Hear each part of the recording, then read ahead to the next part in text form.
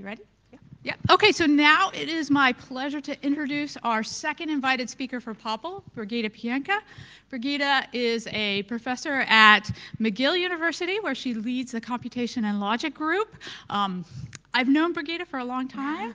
Uh, she was a visiting scientist at Cornell when I just started my PhD program. That's right. That's a long time ago. It was a long time ago. But um, I have always admired Brigitte's work. She is one of the top researchers in understanding how do we develop systems and languages to support variable binding, which I understand is a very difficult problem.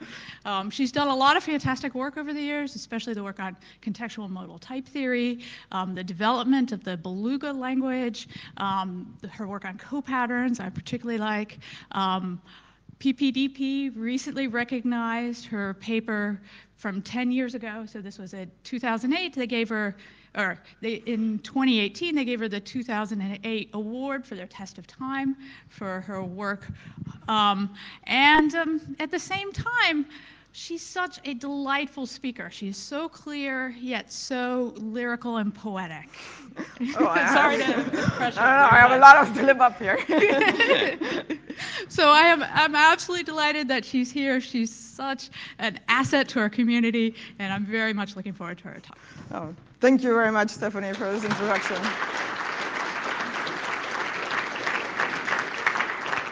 And uh, thanks to all of you for, for coming, and thank you for the organizers uh, to invite me.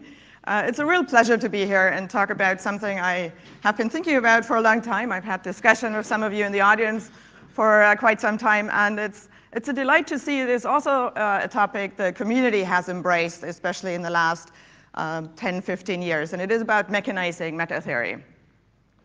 So I want to start by sort of, uh, sort of that we're all on the same page. What is actually mechanized meta theory?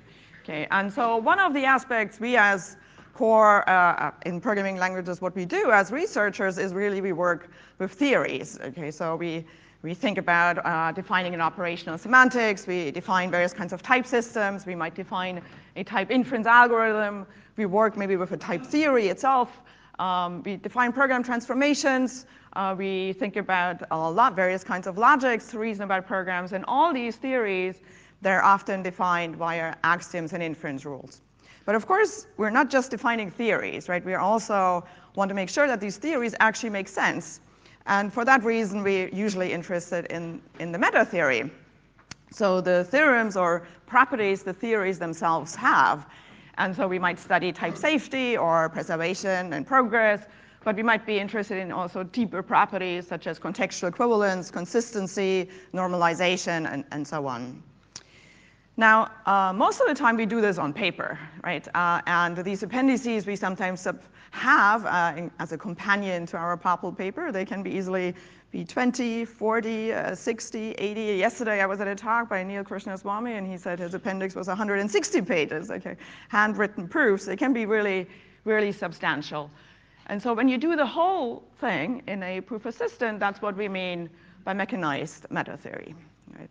And in some way, there's a lot of hope that uh, keeping sort of the theory in balance with its meta theory, a proof assistant could ease that task and could help us sort of to keep that balance uh, in check because it's really a delicate balance, right? Uh, if you tweak something in your theory, you might break one of your, your lemmas and theorems in your meta theory, and it's really a process that goes back and forth. So let me ask you here, uh, who has used a proof assistant in various forms, either just to dabble and experience and experiment. Right, so that's totally amazing to me, uh, and I'm, I'm really delighted to, to see. So I want to sort of reflect with you a little bit on why, right, is it interesting for us to explore um, proof assistance even if we don't end up fully mechanizing our work, and what are sometimes these challenges we run into, and, and where are we going uh, so with, with, this, uh, with this work? So, uh, well, the first uh, thing, as you already noticed, right, lots of you raised their hands, and uh, clearly, you know, you, if you go outside and have conversations with people, you will notice that people talk a lot about using Coq and Agda and Isabelle and, various other systems. So it's really people something everybody talks about it in some way. Okay. And it is also visible in the community. I think it really started thanks to the work by Stephanie and Benjamin Pierce and Steve Zdancewic and Peter Sewell, when it started sort of to become a very, uh, with the popular, POPLMark challenge, got a lot of attention in the programming language community. And it was a small enough challenge problem that you could do it within a day or two. You could read up about it in the, in the book, uh, Types in Programming Languages, if you didn't know how to solve this problem, which was about mechanizing system F sub. Um, and it was really a way of exploring the design space and methodologies people employ when they want to mechanize a formal system. And following from that, there were definitely a lot of uh, Coq summer schools, uh, Deep Spec summer school, there was a Coq boot camp, there was an Agda tutorial here at POPL. We see uh, the Software Foundation series, which really, uh, really does a, a, a, valuable service to the educational community of spreading the gospel of using Coq in, in mechanizing meta theory. We've seen recently a post by Phil Wadler advertising his course notes on using Agda for doing something similar as the uh, software foundations. Um, and we've seen even a book like The Little Typer in this series, like Little ML or Little, Little Schemer. Um, and uh, recently, over the last year when I was on sabbatical, uh, together with uh, other developers of programming environments, in particular Andreas Abel, who works on Agda, Guillaume Allais, who has built a library for Agda, uh, Stephen Schaefer and Kathrin Stark, who are both coming from the Coq community, and others, we, we've kind of thought of what would be a good challenge problem to follow up on the POPLMark challenge. And if there is some time, I'll, I'll, I'll also follow, uh, share some of these ideas here. So everybody seems to be talking about it, and I think to some extent why it's been so successful is because it's such an easy step.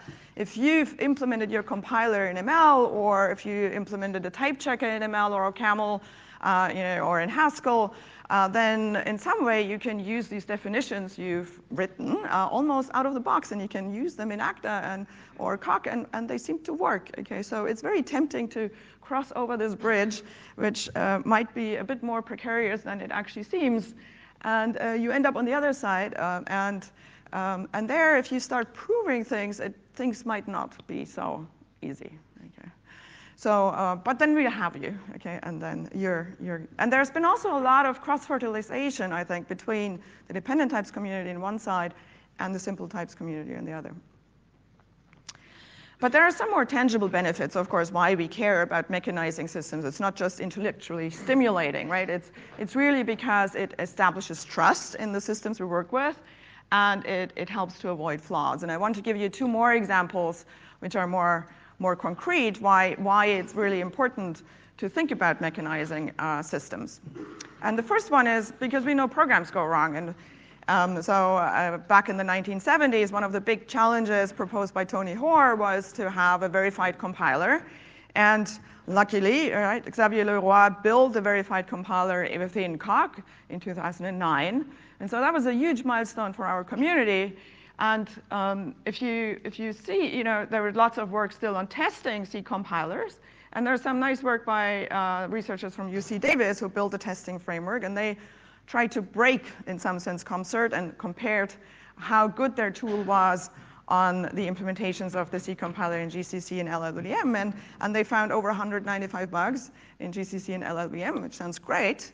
Okay, um, but really, CompCert was uh, the system they weren't able to break. And they say themselves, you know, this is a strong testimony to the promise and quality of verified compilers. And we've seen definitely a lot of talks in that area as well. And the second example I want to mention is, well, programming language designs can go wrong. And um, you know, if you go back 20 years ago, the researchers uh, in this community were quite excited because for the first time, you know, uh, Java came out, and for the first time, it had a formal language specification we could study, and it had this claim that Java was type safe. And so uh, essentially a well-typed program would not go wrong. And so academic researchers like Sophia Drossopoulou and Susan Eisenbach looked at it and said, okay, is this claim true? And they wrote this uh, paper with this wonderful title, uh, Java is type safe, probably. Okay. And then in the same year, there was a note by Vijay Saraswat on his webpage and saying, no, Java is not type safe. Uh, and, uh, and then there, it spawned a lot of work uh, on Featherweight Java, on mechanizing properties about Java. Okay? And you might think, okay, for sure, we figured this thing out. Um, but in 2016, there was a paper, for example, by Nada Amin and, and uh, Ross Tate saying, you know, Java and Scala as type systems are unsound. And that uh, followed, was followed by a paper uh, proposing the dot calculus as a foundation for reasoning about Scala and, and part, of, part of Scala and part of Java. And that was then the type soundness proof was implemented, for example, in Coq. And there's not only one implementation of it in Coq, there's at least two I know of. Okay. So, um, so you might say, okay, so why, why is it so hard, right, to get these theories and implementations right?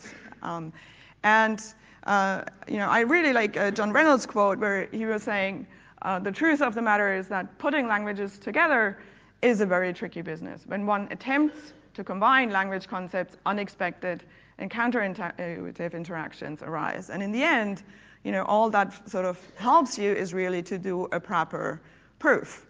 Um, and so, um, you know, we should write proofs. But correct proofs are also tricky to write. Um, on paper, um, it's challenging to keep track of all these details, right? Because there is a very delicate balance to keep everything in harmony um, between your theory you're working with and your meta theory you're trying to establish. Uh, it's easy to skip over details, right? I mean, who cares? Uh, you know, we, we know what variable bindings are and how substitution is. These are concepts we teach the undergraduates. But like once we, we, we work with our own theories, we just take them for granted. Um, so these these it's, it's difficult to understand how these different kind of features interact.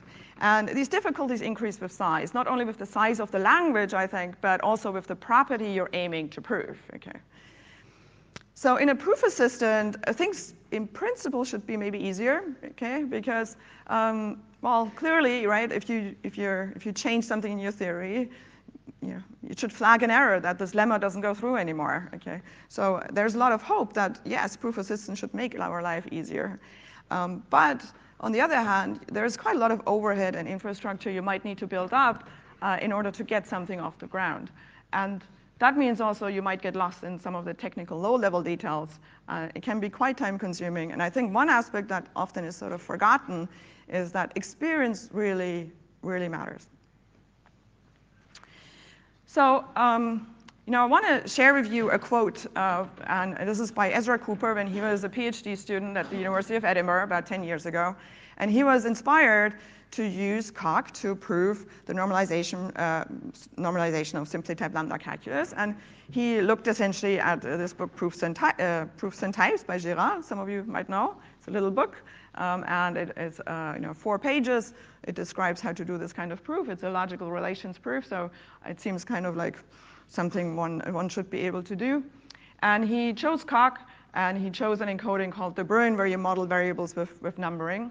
And so I think this experience he had is actually quite, uh, quite common if you start doing this kind of work. And so let me just read it to you. Okay. To those that doubted De Bruijn, I wish to prove them wrong or discover why they were right. Now, after some years and many hundred hours of labor, I can say with some authority they were right. De Bruijn indices are foolishly difficult for this kind of proof. The full proof runs 3,500 lines, although that relies on a further library of 1,900 lines of basic facts about lists and sets. Um, the cost of de Bruijn was partly reflected in the painful 1,600 lines that are used to prove facts about shifting and substitution. So this is the simply typed lambda calculus, okay? I'm not talking about Rust or Java here, okay? Uh, but it's an interesting property. It's certainly more interesting than type preservation and progress. So the question I'm interested in is really, what are good high-level proof languages, okay, to make it easier to mechanize meta theory and have the right abstractions in, in the systems we work with? And I think this is a question that, of course, should also be of interest in the programming language community because the key is, is abstraction. And um, so uh, an abstraction is, is a valuable aspect when we develop high-level programming languages. So this is a quote by Barbara Liskov going back to her work on data abstraction, where she sort of says the motivation behind her work in very high-level languages is to ease the programming task by providing the programmer with a language containing primitives or abstractions suitable to their problem area. The programmer is then able to spend their effort in the right place. They concentrate on solving their problem, and the resulting program will be more reliable as a result. Clearly, this is a worthwhile goal. So I think we should really think about what are good abstractions in order to make our life ultimately easier. Okay. So, um, so it sometimes is good to know uh, the past in order to know uh, where we're going. Okay, so, so let me take you back uh, to the 80s. The 80s were great. Uh, who was born after the 80s? Who's here? Okay. It's worthwhile go back to the 80s. The music was great. Uh, everything comes back. Okay. So uh, the 80s, yes. Uh, so in the 80s, actually, uh, there were uh, a number of interesting papers. In particular, there was the first paper on the calculus of construction. Thierry Coquand finished his PhD thesis. It became the foundation of. Uh, there were a number of papers on Martin-Löf type theory, okay, which became the foundation of Agda. Okay.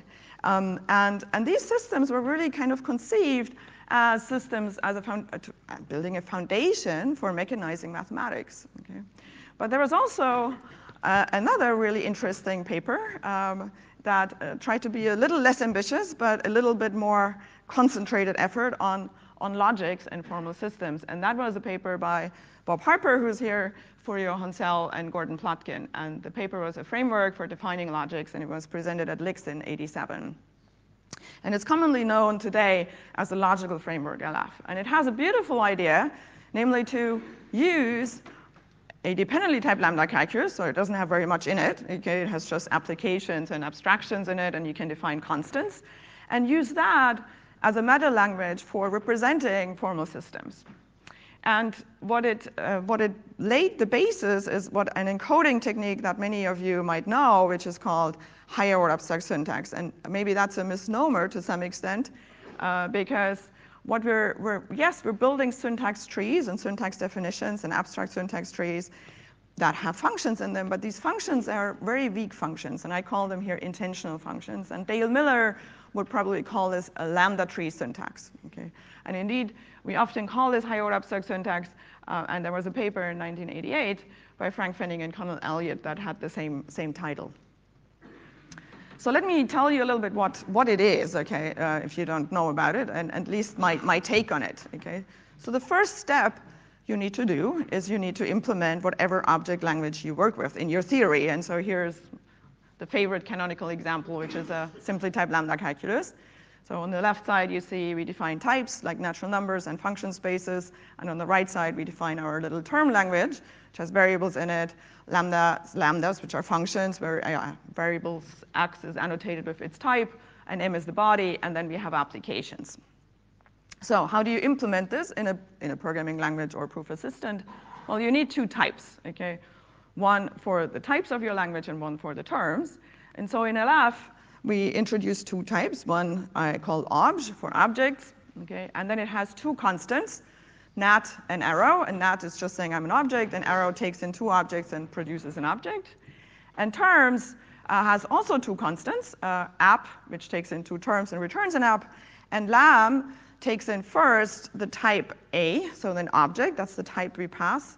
Okay? And then we have a function, which is here in orange, which goes from term to term to model the fact that this lam we have in our language takes in a variable x and it binds any variable in the body m. Okay? So uh, here are a bunch of examples. Okay, so you can use um, if you have the identity function. You know, this is just translated directly. Lam turns into this lam, different font. Nat is the annotation, and then we have lambda x x, which describes that you have an identity function. X is bound by the lambda x. Okay, so now you see that, these why Dale Miller calls it lambda tree syntax because you have these lambda functions which bind variables. Okay. Now, the second example, uh, basically, we it's a notion of overshadowing. You have the orange lambda, which says I'm, a, I'm an x, which is of type nat, and then you have a blue lambda introduced, a blue, a blue x introduced, which says x is of a function from nat to nat, and you return the innermost, okay? So there's a notion of overshadowing, but uh, nothing to worry, okay, because our meta language knows what it means to overshadow. Both binders are mapped to real Greek lambdas in our meta language. Okay?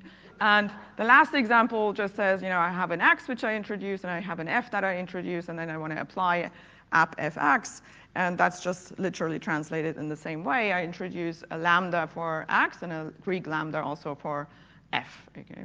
So the point is that you uniformly model bindings okay, via these lambda functions, the Greek lambda functions. Okay? And that means you inherit from the, from the language, from the meta language, essentially alpha renaming and single substitutions, because of course we know how to deal with these Greek lambdas. Okay? So it's really uniform. I want to emphasize that. Okay, this has nothing to do that I chose the simply type lambda calculus. Okay?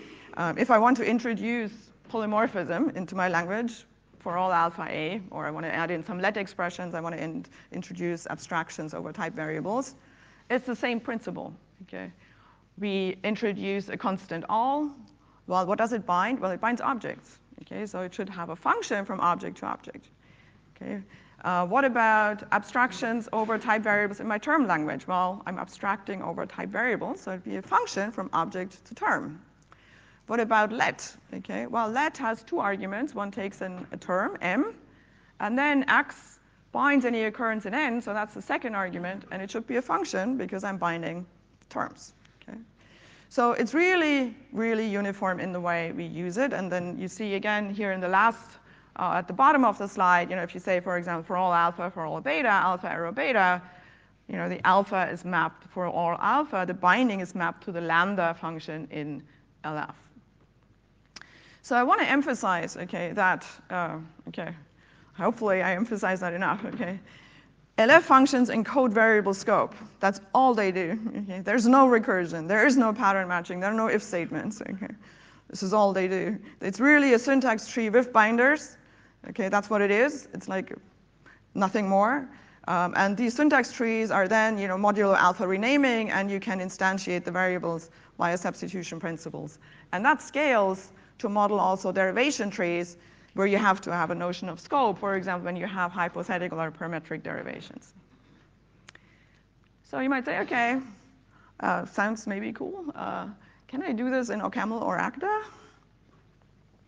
And well, you could try, okay? So it's worth a try. Uh, so you're like, okay, uh, what do I need to do? Well, I need to apparently define some kind of uh, data type for terms. And here I gave it just one constructor, lam, okay? And uh, it takes in an argument, okay? And it's supposed to take in a function as an argument, okay? So term, arrow, term. And then I define an actual function, apply, okay, so I, uh, it's a function that pattern matches on the input, so it's a function which takes in a tm, a term, okay, it will uh, look at the pattern lam f and it returns f, it strips off the lam, and so it's a function that returns a function term arrow term. And then I have uh, defined a constant, omega, which just builds one of these tm objects. So, any OCaml programmers here? Daring? Okay. So what happens when we try to evaluate apply omega omega? It will loop, okay? So if you're an OCaml programmer, you're like, okay, I write, you know, obviously we can write looping programs. Uh, too bad, okay? Maybe it's surprising to some of you that you can write a looping program without having a recursive function, but yes, you can. Um, now, the problem is not uh, in, uh, the problem is not obviously not OCaml. The problem is if you do the same thing in, in a system like Agda or Coq, you, can, you could in principle write the same kind of program and you would write have a non-terminating function, which would mean that your system is inconsistent, okay?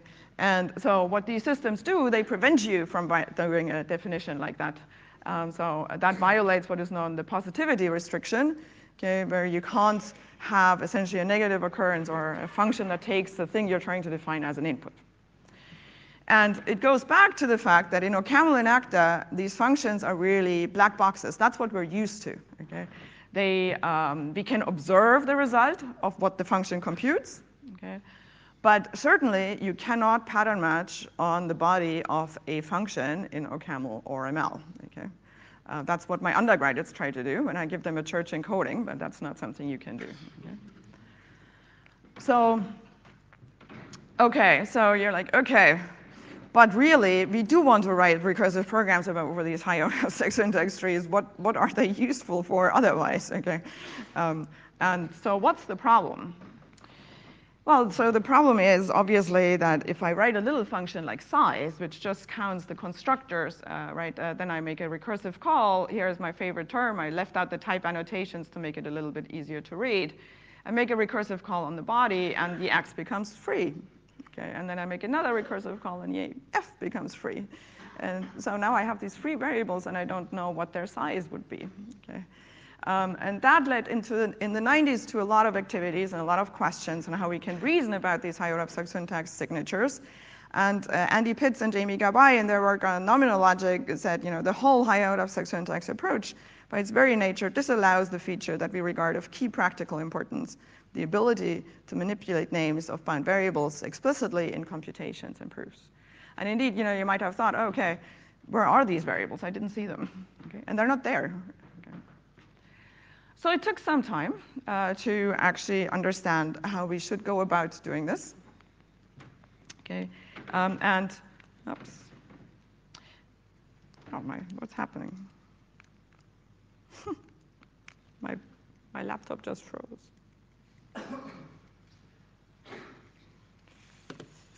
Um, yeah, sorry. um, let me see if I can restart my slides at least. Sorry. Oops.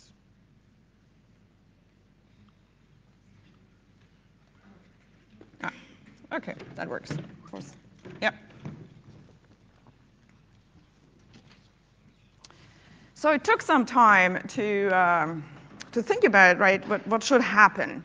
Um, and so it took almost 20 years uh, until we, we sort of had uh, some, some idea what should maybe happen. And the idea is that we should really look at these LF syntax trees uh, maybe a little bit more closer because what happens when you do pattern matching is you want to extract what is in this box, okay? But obviously what is in this box depends on, on X, okay? So, I, so how do we type what is in the box?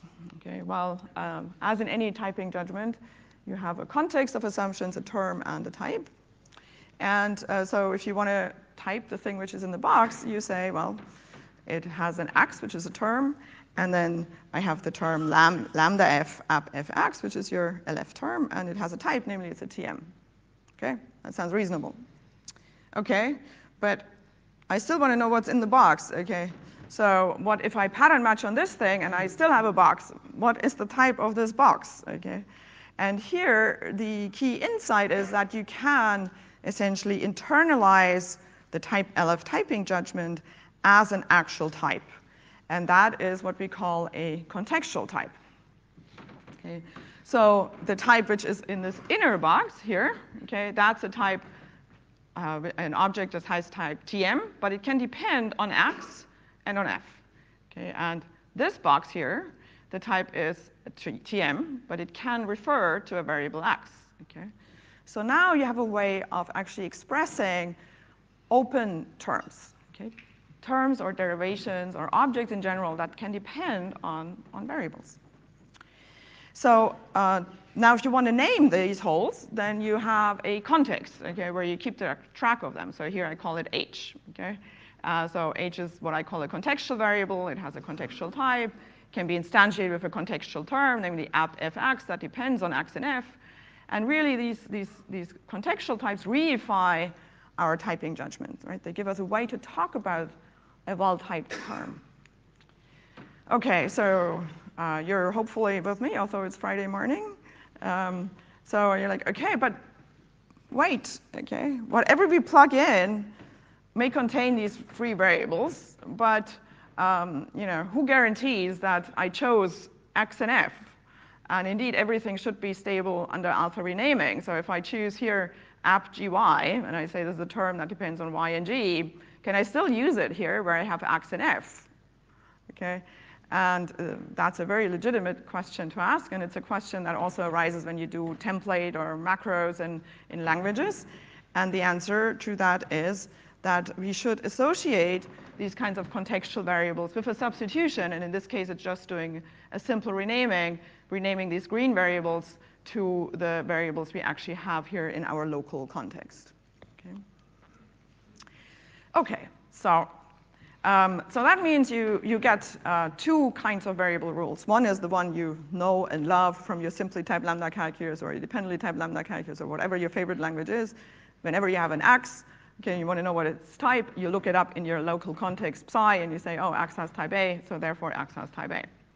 Now, the second rule is for uh, contextual variables or holes. So they come from gamma, and they, have they, they have a type A in a context phi. So now you need to justify why you can use something in a context psi. And so you have a transition from phi to psi, which is witnessed by a substitution sigma. So it's like a morphism, if you like. Okay. And so this, we now have a closure, and here we apply the substitution because you have a dependently typed uh, theory, so A can depend on phi, and you need to move phi to the context you're currently living in. Okay.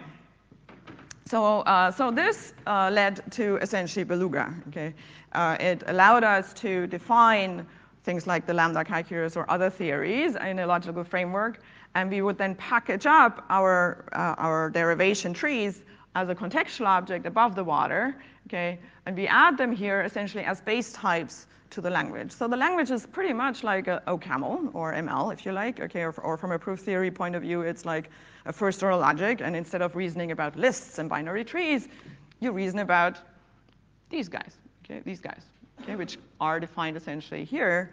And they capture sort of a lot of things of the infrastructure that you usually define by, by yourself, but we bake it into the equational theory of these objects. Okay? So, um, so that allows us to actually reason about um, formal systems. So um, it not only, so if you look at the size program, what it happens is you look at your term in an empty context, you make a recursive call, you move x to your local context, you, pop, you start populating your context, okay? It's added f, and then you look at f and x both within the context they actually live in. And that means in the end, you know, the program, uh, you, one thing you need in addition is you need to be able to abstract over your context because it actually grows. So uh, here I wrote the program in an equational style, and essentially what you need to do is you uh, say for all contexts, gamma, you give me a term in gamma, I'm going to return an integer, and I, let me start with the last case, which is the most obvious, if you have an application M and N in gamma, you make a recursive call. If, it's, uh, if it sits under a lambda, you make a recursive call in, an extended context. And then we have a special pattern variable which captures the case indeed that uh, this will only succeed when it, when it uh, can be instantiated with a variable from gamma. And we use higher order pattern matching, which is a, it's a fragment of, of higher order matching, which is actually decidable. So now we, we can do all kinds of things, things that were uh, really out of reach and thought to be very difficult with higher-order abstract syntax. For example, we can write a type preserving closure conversion and hoisting algorithm. Okay, uh, we can do various kinds of inductive proofs, in particular inductive proofs about logical relations. We can do co-inductive proofs using co-patterns and implementing proofs about bisimulation. But I want to focus a little bit on these inductive proofs, okay? So in particular, uh, you know, you remember that I told you about Ezra Cooper at the beginning, who, uh, who set out on this quest to do the strong normalization proof in Coq, and it was really hard, okay? And we thought it would be interesting to revisit, you know, and compare what, how far we progressed.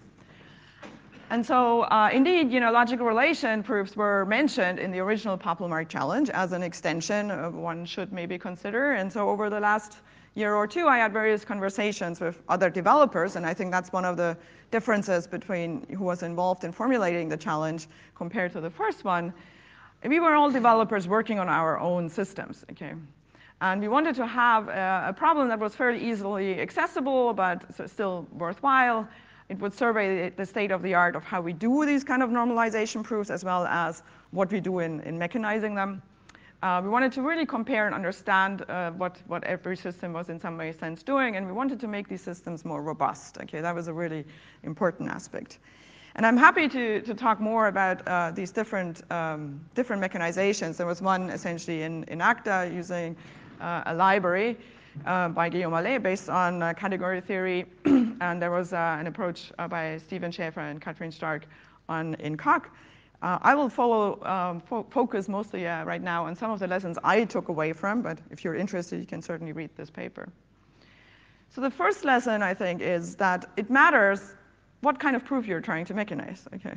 And so in particular, one of the things we learned was that if you choose an inductive definition for strong normalization, proofs become much more modular and simpler. And that was an idea by Femke van Raamsdonck and Paula Severi shared in the mid-90s. Okay, and it was picked up by Ralph Matthes. And this, this modularity pays off not only on paper, but especially if you do it in a, in a proof assistant.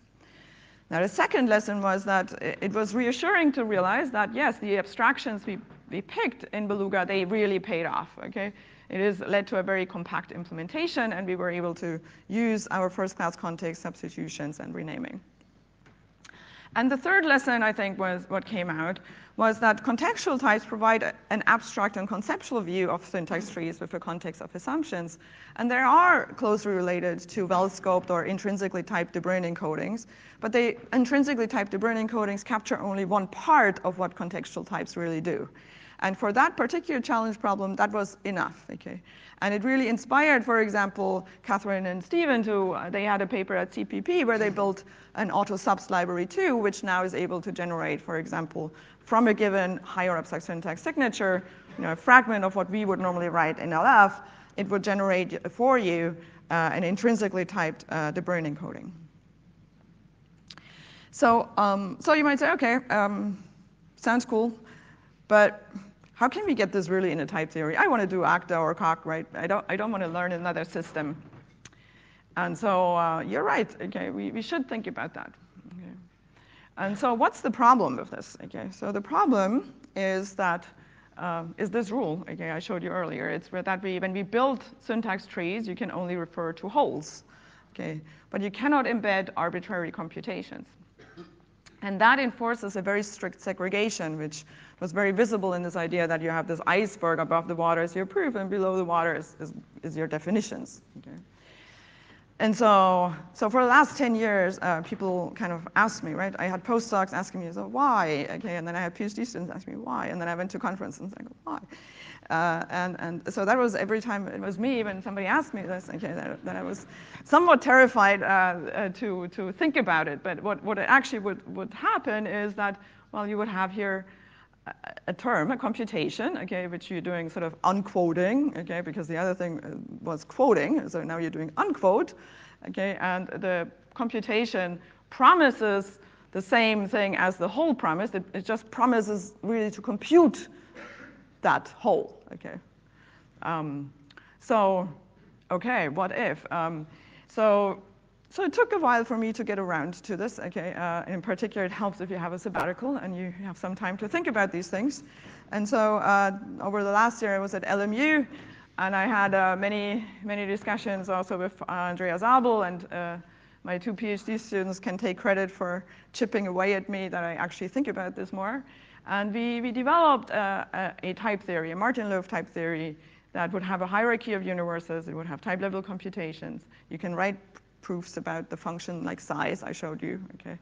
And it does allow to embed also computations in type. So we still separate the syntax on the side, okay? And you, you embed syntax data, data structures, if you like, or syntax trees inside computations over here via a box or a quote. You can do pattern matching on the side, you can do recursion, okay? But you can also do an unquote over here, and that's the orange arrow that, that, was, that was so far missing, okay? And so going through this proof was really uh, quite a substantial, substantial work. But it works out, okay, that's a good line. So, you know, so why, uh, what is a, maybe an interesting um, um, example to look at? Um, that's for example, the translation from simply type lambda calculus to Cartesian closed categories. So that is an example uh, which bothered me for a long time because it, I already looked at it when I was a PhD student at Carnegie Mellon. And there was this note by Andrei Filinski, some of you might know, uh, who had attempted this in the proof assistant ELF, which was the first proof assistant that implemented LF. And essentially the idea is you have a simply typed term. Here's a type family, which I introduced, uh, which I indexed with objects. So this will be only well typed terms. And I want to write an interpretation of these terms as morphisms between two objects. And so the first thing you, you will notice is that you will need, in this interpretation function, you will work with open terms because they're well typed and they live in a particular context. Okay. And so the first thing you, you need to understand is how you translate your, your context into a type. And the relationship is essentially if you have a bunch of declarations, it turns into a cross product. Okay, so that's a function we can already write in Beluga. But the last, uh, this function here is more difficult. It would say that if you have a term of type A in a context gamma, I'm going to return to you a morphism from the translation of gamma. Okay, so you're computing the type gamma would be corresponding to 2A. And so you're embedding a computation inside. Okay. And ultimately, you even want to write a program that would say, if two terms are equivalent over here and you translate them, they remain equivalent. Okay? That's another program above the program you actually, this interpretation function. So that's what, what it will, will open up with.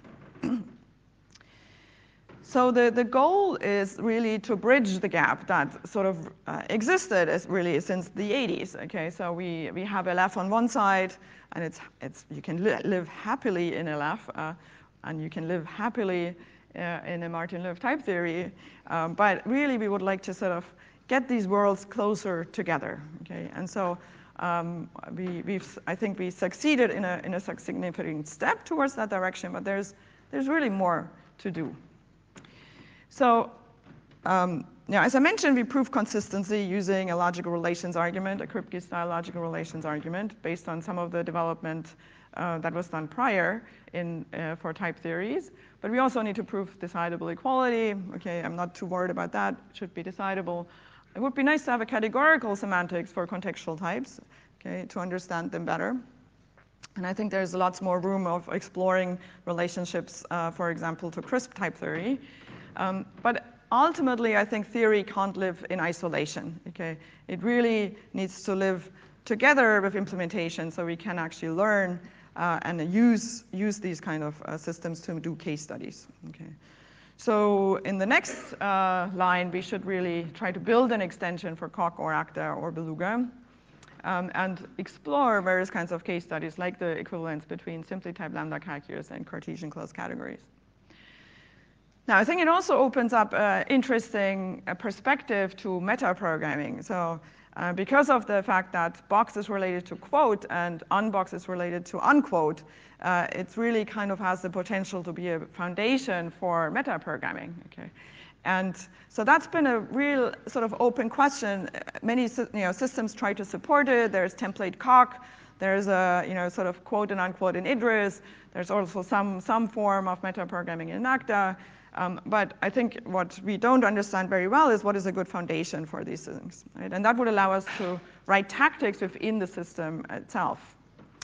Compilation is an important and interesting aspect as well.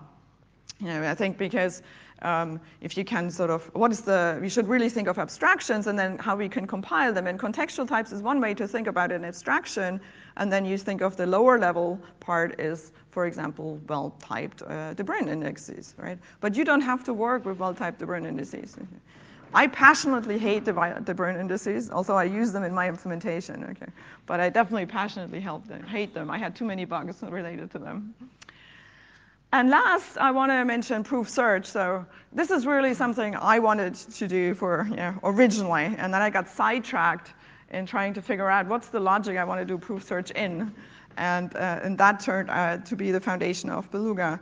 But I think it is really, really important that we develop proof search tools. And in order to develop proof search tools, we need good logical foundations.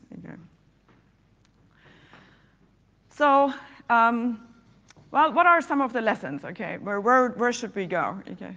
So I think one lesson I hope uh, you, you feel inspired to is to look at contextual types. Uh, you know, there was a talk also yesterday which used this idea in uh, the live programming environment, Hazel, and I think it has a lot to offer as, as a way of thinking about holes in terms or syntax trees within a context of assumptions. So it, it, has a very broader application than, than maybe what I just showed you, but it gives a very con conceptual framework really of also developing your proofs. Okay? And the second uh, thing I would like to uh, really emphasize is abstractions are useful. Okay? If you have an abstractions for variable binding, context, and substitutions, they, they can be valuable. Okay? Um, you, you, you don't have to live through the pain of Ezra Cooper. Okay? Um, now, at the same time, I want to say, you know, um, there are many more abstractions, of course, right? So if you work on a low-level memory model uh, where you're like, oh, I don't have really, binding isn't really my problem. My problem is that I work with heaps, okay, and I have an equational theory about heaps. Well, maybe that is something which should be, we should be thinking about abstracting over, okay? Um, maybe linearity, if you work on session types, right, then you have a linear system and you're like, well, you know, linearity, I don't know, even know where to begin, maybe how to use a system like Coq to mechanize these systems. And that's true, right? Linearity opens many, many more challenges, and, and, and we, we should investigate, and we have indeed looked, for example, at linear contextual type theory, okay, as one way to thinking about it. Okay. Resources is another avenue you know you might want to want to consider. So I'm not claiming that this is the only abstraction, but variable binding and context and substitutions. But it is one we, we have talked about for 30 years, and I think we're now getting to a point where we really understand it. And I think we should have benchmarks that uh, when somebody proposes a new approach, right, uh, of saying here is a new library, here's a new system, that we can sort of say understand it and understand how to put it in relationship to other existing systems and make them also more robust in the end. So thank you. Uh, that's all I have to say, and I'm happy to take questions.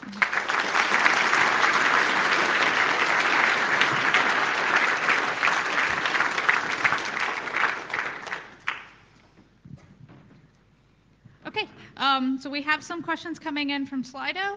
And if you, or if you would rather ask your question in person, raise your hand and we'll have a student volunteer come around with the microphone. But I'll start with a Slido question. Okay. So, um, so the first question is, does your approach work with process calculi, where one often has to compute under binders such as name restrictions? So indeed, uh, process calculi, uh, so Dale Miller, for example, has as an example implemented the pi calculus. So in that sense, you know, I think that there, uh, um, that can be done. But uh, if you have certainly more unusual binding structures, you know, then, then this, this will not work. I mean, this is a very domain-specific approach which focuses on a very particular approach of binding, which is very common, but it doesn't capture all. Okay. Okay, so I think Phil has a question next. That was a, oh, that was a lovely talk. Thank you. Thank you for mentioning Ezra Miller, my old student. Uh, but I want to rehabilitate de Bruijn indices a little bit. so um, I did things with ordinary variable names and with de Bruijn indices uh, in my textbook. And then for de Bruijn indices, I moved to using what's called intrinsic typing where the terms are indexed by types, which was known to some as a good idea and turns out to be a really good idea. The code Absolutely. was much smaller by about a, um, Absolutely. close to half the size, actually the golden ratio. That's right. Um, and if you do it intrinsically, you're much less likely to make mistakes with the indices. And I think also things have come on. So like there's a very nice way of writing out substitution due to Conor McBride and James McKenna, and that made my life so much easier. Yes. So one of the interesting things in this area, I think, is every now and then somebody comes across a new way of thinking about things, which makes it so much easier. Yes, I, I mean, I completely uh, agree uh, that, and I think, you know, as I mentioned, contextual types are more like an abstract way and a more general way of looking at this issue. Intrinsically typed de encodings can be very valuable, I mean, as you say, right? And we use them, for example, in this POPLMark Reloaded challenge, um, you know, they are used both in, uh, they're used, for example, in a Coq solution. Okay. Now, I also want to say that it's not so obvious how they would scale. Okay, that if you have, for example, intersection types, or if you have dependent types, or uh, more fancy type systems. Okay, yeah, so they hit a very particular sweet spot. It's really hard. right. So, so they hit a particular sweet spot. Okay. Yeah. But if you if you take an approach like contextual type theory, we are not, or LF, right? We're not restricted to that. And that I think is important to understand that you know what's you know that they work and, they, and that's great that they work, but like how far can one go with it and how you know to systems which aim to be sort of more general in a foundational way. Right. So anyhow, rather people shouldn't think of the 1900 lines that uh, Ezra mentioned. I did not prove termination, but just to give do progress and preservation for PCF is 275 lines. Right. But I mean, uh, doing normalization is significantly more complicated. But I can also say there's no hope. It's not, uh, you know, not all is lost. Uh, so uh, I think there's, let me just mention two things about this. One is that Ezra chose accessibility relation. He didn't choose a, uh, a normal, uh, an inductive definition, which makes a quite a bit of a difference. Um, and there's, there are other differences. So for example, it was an explicit typing, and for that reason, you needed to implement the typing environment and lists and so on. But if you do an intrinsic typing, you don't have to. Okay. There's also a clever way of how you deal with substitution. So the Coq's solution, for example, did it with functions rather than like lists. Okay. Um, and indeed, you know, if you look at the Coq solution, which we have also publicly available, it is down to 400 and something lines, okay? And 45% of that is infrastructure. It's proof scripts, okay? But uh, you, you, don't have, you know, that's what I meant when I mentioned experience, okay? Experience really matters, yeah. Okay, um, I'm going to ask another question from Slido, kind of related, also comparing between your work and other approaches. So what are the pros and cons of higher order abstract syntax approach to representing binding when compared to approaches based on nominal sets? Right, so I mean the nominal sets approach uh, take a kind of the complete opposite view. so I take a very local view. I like to shop locally. So uh, the context is local, okay, everything is local, okay. Uh, in so the, the main difference is in a nominal world, you, you, you think of your, the variable you, you encounter if you go under a binder, it's global. Okay. So, um, so that means, for example, if you want, so I would be very curious if somebody wants to do this uh, logical relations proofs we have in the POPLMark challenge using nominals, okay? Because if you start talking about typing derivations, you need to do something with it. Again, you need to talk about context extension. So you need to keep track of what these contexts are doing, it, and that's still an overhead that will persist. But it would be really interesting to see. And certainly, Isabelle nominal has been used for a very similar proof, which was uh, proving essentially algorithmic uh, that algorithmic equality for LF is, is complete, okay, which is a very similar proof as the strong normalization proof we've done. Okay. Um, I think Neel has a question. So um, this is more a, a question about the implementation level rather than the uh, than the uh, sort of the semantics of contextual types. But uh, you know, when when I'm implementing a compiler, one thing I've noticed is that uh, de is actually bad for compilers because whenever you apply one of these weakening maps, you have to like traverse the whole term to do apply the shift. And the advantage of names is that the sort of the weakening map is always a canonical one, so you never have to apply it. Like you could just reuse the same term. Um, so in Beluga, like what led you to choose de Bruijn indices? Well, um, basically because I came from uh, the 11 implementation, so Twelf was the system I used to work with before. And um, when we started, we, we, we took a lot of the, the code base and we moved it from ML to OCaml. And it gave a very, um, it gave a very conceptual view on this. Um, I mean, I think I also should mention that Lambda Prolog uses a variation of explicit substitution calculi. So um, we're not certainly unusual, it's not, certainly not unusual. Um, and it's, it, I think also I'm not sure if I know how to do things in a higher order setting with names. Okay, higher order setting plus dependent types of names. Um, so, um, so that was the the path we took. Okay, and uh, I think it was in some way a good path. I mean, it's uh, from a performance point of view, it's you know it's very well. Um, but um, I know Agda has been uh, sticking to a more uh, name-based approach for for a while. Um, but I, I mean, I would say for, for an implementation of that form, for a type checker, for a dependently typed system, I still think de Bruijn is, is, is the one I would choose personally. Okay, we have a question from Slido not about different uh, representations, but about different forms of proofs that you might do. Mm. So can you comment on mechanizing soundness proofs of program analyses? In part, I'm referring to Darais and Van Horn's constructive Galois connections from ICFP 2016. Yeah, I think that these kinds of proofs would be much simpler if we if we go move to a full type theory. Okay, uh, so. I think most of the time we, that's I think one another motivation, right, to move to a type theory where you have the full power of, of, of uh, functions you can define and can embed again in, in, uh, in when you define types and you have a hierarchy of universes and so on. Because uh, I think the, where, where LF, often you want the combination of both, uh, but I think where, where the LF approach really shines is you, if you want to prove properties, syntactic properties, right? Logical relations, bisimulation, contextual equivalence, type preservation in progress, all these kinds of properties. Uh, so, uh, so one of the big challenge in program verification is to do these large scale proof checking. Proof objects are getting huge, and it takes days to, you know, even to check the validity.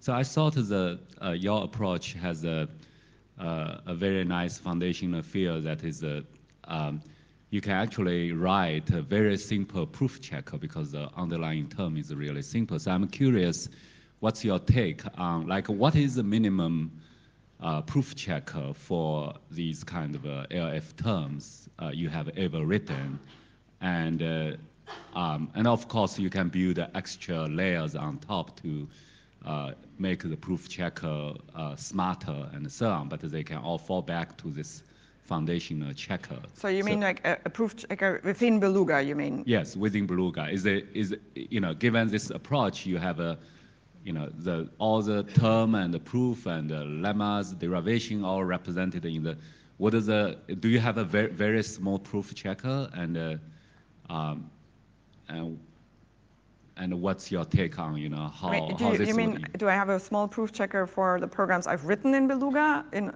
or do you mean like if I can write an actual proof checker in Beluga? Uh, just the checker for the uh, LF but, level objects, right? Yeah. I mean, so we, we wrote it in OCaml, and um, we have a, we, so there's, a, we do type reconstruction and elaboration, and then we have a, a small proof checker. It's, I mean, it's bigger than, uh, than LF's proof checker because we have also the layer of functions, but it's, it's not more than uh, 800, uh, 800 lines of code. Yeah. I mean, it actually has a very small trusted code base, okay? Because uh, in the proof checker, you don't need to refer to unification anymore. Okay, so it's really purely type checking you need to rely on, and it's fully explicit. So we do have dependent pattern matching, but we keep track of, of, the, uh, of the instantiation in each of the branches.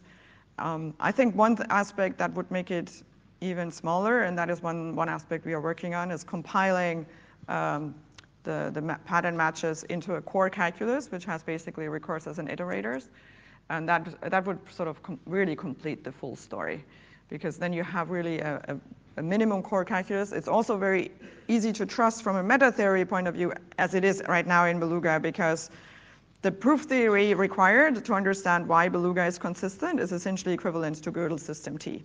Now, of course, we give up some power. Okay, so once we move to a full dependent type theory, it's not Gödel system T anymore. Okay, the, the, so so there, there, this is, there's, there's the spectrum, right, of what you want. I think if one wants to have a small trusted kernel, then you know one might want to stay within like very ML or Beluga, which is sort of a similar approach.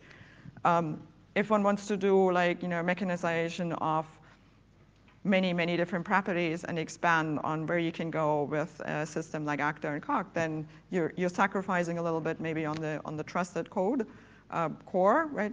And you're, you're willing to live with it, but you, you gain a lot more power. Does that answer? Yeah. Okay, I think we have time for one last question from Slido. Um, so what about Dale Miller's world of Lambda Prolog and Abella? Are, there, are they easy to bridge with Beluga's contextual types? So uh, yeah, so I mean, a lot of the, uh, the, the layer where we write programs with, which is the top layer, is, is very related to how uh, in proof theory you do uh, express inductive and co-inductive proofs. And that is indeed what, what happens in, in Abella. Um, so um, the addition in Abella is that they have a nabla quantifier, so it introduces sort of a, a global namespace. And there's another big difference in the sense that here, you directly manipulate syntax trees with binders. Okay, This is what you get. We give you a syntax tree with binder. Now, uh, the approach taken in Abella was, uh, since in the mid 90s we didn't really know how to reason about syntax trees with binders, the approach was to um, implement Church's simple type theory as an inductive type as part of the logic. Okay? And then you reason only above the water with a sort of an encoding of what was below the water. Okay? So you're not, if you're, if you're a programmer, it basically is sort of, you're not manipulating directly syntax trees. You're manipulating their encodings. Okay? Um, and so um, from my perspective, I think it's a very interesting uh, perspective because uh, they, uh, they focus on the proof theory, and so it opens a lot of things about proof search. But they don't have proof witnesses, so they don't relate to programs. Okay, and so since I'd like to write programs as well as proofs, I'm, you know, I'll stick with what what we have. okay, uh, so let's thank Brigitte once again for a wonderful talk.